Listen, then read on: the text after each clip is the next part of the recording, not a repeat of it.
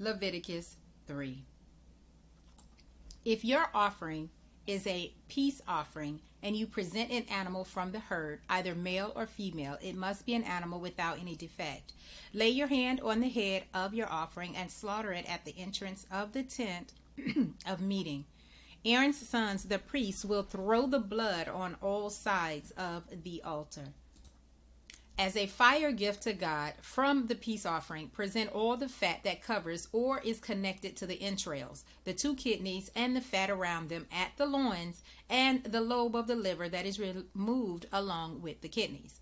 Aaron and his sons will burn it on the altar along with the whole burnt offering that is on the wood prepared for the fire, a fire gift, a pleasing fragrance to God.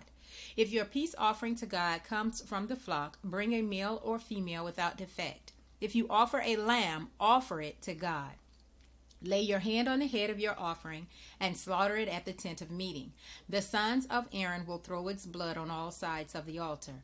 As a fire gift to God from the peace offering, present its fat, the entire fat tail cut off close to the backbone, all the fat on and connected to the entrails, the two kidneys and the fat around them on the loins, and the lobe of the liver, which is removed along with the kidneys.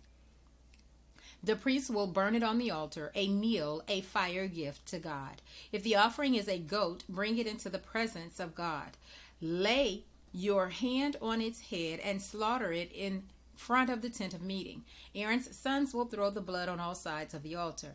As a fire gift to God, present the fat that covers and is connected to the entrails, the two kidneys, and the fat which is around them on the loins, and the lobe of the liver, which is removed along with the kidneys.